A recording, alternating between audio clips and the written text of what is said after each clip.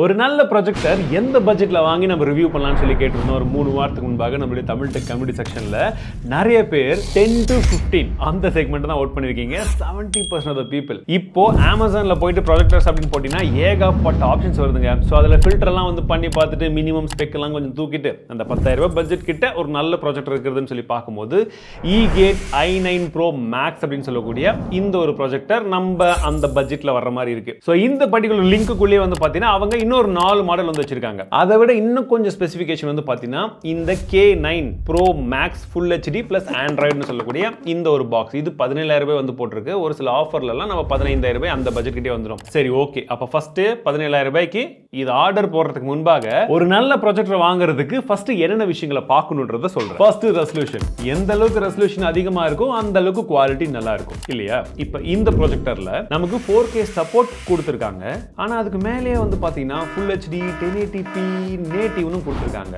கன்ஃபியூசிங்காக இருக்குல்ல? சரி இந்த டென் ஏடிபி நேட்டிவ் என்னன்னு ஃபர்ஸ்ட் சொல்கிறேன் நீங்கள் செவன் டுவெண்ட்டிபியில் இன்புட் கொடுத்தாலுமே அதை அப்ஸ்கேலிங் பண்ணி டென் ஏடிபி ஆகும் ஃபோர் கேல இன்புட் கொடுத்தாலுமே அதை டவுன் ஸ்கேல் பண்ணி டென் ஏடிபியில் அவுட்புட் ஆகும் ஸோ ஓவராலாக உங்களுக்கு நேட்டிவாக இதுலேருந்து வரக்கூடிய அவுட்புட் டென் ஏடிபியில் வரும். அப்போ இந்த ஃபோர் கே சப்போர்ட் அப்படின்றது என்னன்னு பார்த்தீங்கன்னா இதில் மேக்ஸிமம் இன்புட் குவாலிட்டி வந்து பார்த்தீங்கன்னா ஃபோர் கே வரைக்கும் ரிசீவ் பண்ண முடியும். ஸோ கன்ஃபியூஷனே வேண்டாம். இந்த ப்ராஜெக்ட் ஒரு ஃபுல் ஹெச்டி ப்ராஜெக்ட் தாங்க. அப்போ ஃபோர் கேன்லாம் மென்ஷன் பண்ணிக்கிறது மார்க்கெட்டிங் கிமிக்கு அதே தான் ஃபோர் கே ப்ராஜெக்டர் அப்படின்னு சொல்லி நீங்கள் கீவேர்டை போட்டு என்டர் பண்ணாலே எல்லாமே லைனாக வருது. பட் இதில் முக்காவாசி சொல்லப்போனால் நைன்டி பர்சன்ட்டுக்கு மேலே எல்லாமே ஃபோர் கே சப்போர்ட் மட்டும்தான். அண்ட் ப்ரொஜெக்டர் வெறும் ஃபுல் ஹெச்டி மட்டும்தான். உங்களுக்கு உண்மையாகவே ஃபோர் கே நேட்டிவ் ரெசல்யூஷனில் உங்களுக்கு ப்ரொஜெக்டர் வேணும்னா ஒரு லட்ச ரூபாய்க்கு மேலே போனால் தான் கிடைக்கும். ஃபோர் கே வேணும்?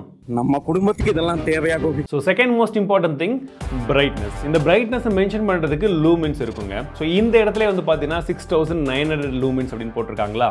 அண்ட் கூடவே வந்து பார்த்தீங்கன்னா ஆன்சின்னு சொல்லி இன்னொரு வேல்யூ இருக்குது ஸோ இப்போது ஒரு லூமின்ஸை எப்படி மெஷர் பண்ணுறாங்கன்னா ப்ரொஜெக்டர்லேருந்து லைட் வெளியில் வருதுன்னா அங்கே பக்கத்துலேயே வச்சு கூட மெஷர் பண்ணலாம். இங்கே வச்சு மெஷர் பண்ணலாம். இங்கே வச்சு மெஷர் பண்ணலாம். ஸோ எங்கே வேணாலும் வச்சு மெஷர் பண்ணுவாங்க. அது எப்படி மெஷர் பண்ணுறாங்கன்றது யாருக்கும் சொல்ல மாட்டாங்க. ஸோ அதில் லூமின்ஸ்ன்ற வேல்யூ வந்து பார்த்தீங்கன்னா ஜென்ரலி அதிகமாக தான் வரும். பட் இந்த ஆன்சின்றது வந்து பார்த்தீங்கன்னா அமெரிக்கன் ஸ்டாண்டர்டில் அவங்க வச்சிருக்கக்கூடிய ஒரு மெஷர்மெண்ட் சிஸ்டம் ஸோ இது என்னன்னு பார்த்தீங்கன்னா அந்த பிக்சர் போய் எங்கே விழுதோ அந்த இடத்துல ஒன்பது பகுதிகளாக பிரித்து அதில் ஈக்குவலாக அமௌண்ட் ஆஃப் லைட் எவ்வளோ வருதுன்றதை அந்த நைன் பார்ட்ஸ்லையுமே வந்து கால்குலேட் பண்ணி அதோடைய ஆவரேஜ் எடுப்பாங்க.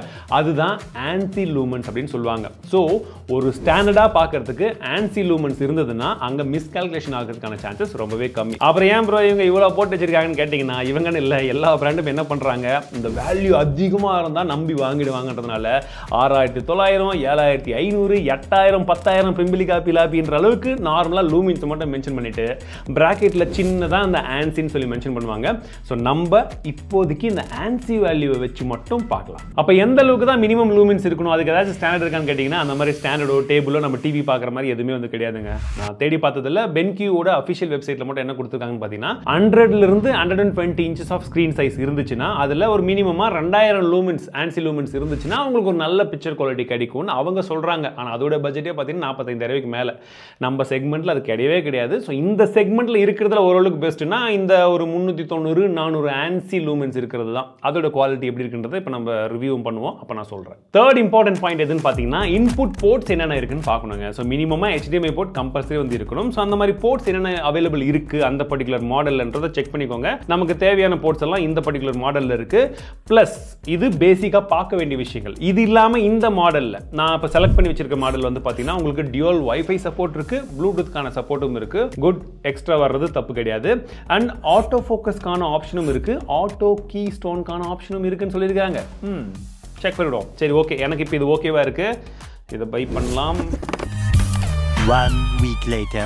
ஒரு வழியாக ப்ராடக்ட் வந்தாச்சு டக்கு டக்கு டக்குன்னு பிரிச்சு எல்லாம் செட்டப் பண்ணி பார்த்தா auto focus ninety to ninety five percent கரெக்டாக வந்துடுதுங்க. நீங்கள் எந்த வாலில் வைக்கிறீங்கன்றதை பொறுத்து கரெக்டாக வந்துடுது. ஆனால் அந்த கீ ஸ்டோன் இதில் இருக்குன்னு போட்டிருந்தாங்க இல்லையா ஆட்டோஸ் கீ ஸ்டோன் இதில் தான் ஒரு பிரச்சனை இருக்குது ஒரு சைடில் வந்து பார்த்தீங்கன்னா கிராஸாக தான் வந்து வருது. அது என்ன அட்ஜஸ்ட்மெண்ட் பண்ணாலுமே அப்படி தான் வருது. அண்ட் அரிஜினல் கீ ஸ்டோன் ஒருவேளை ஆன் பண்ண வருமோ? ஏன்னா பை டிஃபால்ட் அது வந்து ஆஃப்ல இருந்தது. அதை ஆன் பண்ணி பார்த்தா அப்படி டோட்டலாக வந்து மாறிடுச்சுங்க. இந்த கீ ஸ்டோன் வந்து என்னன்னு பார்த்தீங்கன்னா டிஃபால்ட்டாக வச்சு ஃப்ரேம் வந்து நம்ம நமக்கு ஸ்ட்ரெயிட்டாக தெரியணும் இல்லையா? கொஞ்சம் உள்ள கொஞ்சம் மேலே இந்த மாதிரி தெரியக்கூடாது. அது இது ஆட்டோவாக வரும்னு சொன்னாங்க அது வரல. சரி இதுதான் இப்படின்னு பார்த்தா நீங்கள் பிரைட்னஸ் அட்ஜஸ்ட் பண்ணுறதுலேருந்து மற்ற எல்லா விஷயங்களும் நீங்கள் மேனுவலாக கண்ட்ரோல் பண்ணணுனாலுமே மேக்ஸிமம் ஃபீச்சர்ஸ் எல்லாம் வந்து பார்த்தீங்கன்னா ஹெச்டிஎம்ஐ மூலியமா மட்டும்தான் நீங்கள் கனெக்ட் பண்ணால் மட்டும்தான் அந்த பட்டன்ஸே வந்து ஒர்க் ஆகுது. ஜென்ரலி நீங்கள் ஆன் பாக்ஸில் இருக்கக்கூடிய இந்த ஆண்ட்ராய்டு ஆப்ரேட்டிங் சிஸ்டமில் நீங்கள் வச்சு எது ப்ளே பண்ணாலுமே அந்த டைமில் ஒர்க் ஆகிறது இல்லை சரி இந்த ஆப்ரேட்டிங் சிஸ்டமாச்சு கொஞ்சம் ஸ்மூத்தாக இருந்ததா அப்படின்னு பார்த்தா அந்த அளவுக்குலாம் கிடையாதுங்க. பார்க்குறதுக்கு ஆண்ட்ராய்டு ஓகேவா இருந்துச்சு. ரெஸ்பான்ஸ் ரொம்ப ஸ்லோவாக தான் இருந்துச்சு.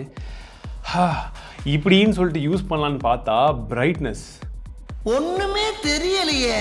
ஏங்க நான் ஆர்டர் போடும்போது ஆறுநூற்றி அறுபது ஆன்சி லூமன்ஸ் இருக்குன்றத பார்த்துட்டு ஆர்டர் போட்டேன். பார்த்தா அந்த அளவுக்கு இல்லையே அப்படின்னு சொல்லிட்டு டவுட்டில் சரின்ட்டு திரும்ப போய் அவங்களுடைய வெப்சைட் அதாவது அமேசானில் போயிட்டு திரும்ப பார்த்தா வேல்யூவை மாற்றிட்டு இருக்காங்க. டைட்டிலில் இப்போ நானூறு ஆன்சி தாங்க போட்டிருக்காங்க.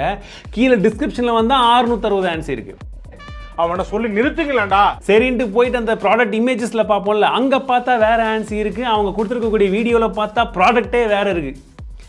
ஒரே குழப்பமா இருக்கடா அமாவாசை. ஒரே கன்ஃபியூஷன் பதினேழாயிரம் ரூபாய்க்கு சத்தியமா இது ஒர்த்தே கிடையாது. நிறைய விஷயங்கள் ராங் இன்ஃபோ அண்ட் நிறைய விஷயங்கள் சரியா ஒர்க்கே ஆகல. பெரிய டென்ஷன்ஸ் ஆஃப் இந்தியாவா போச்சே?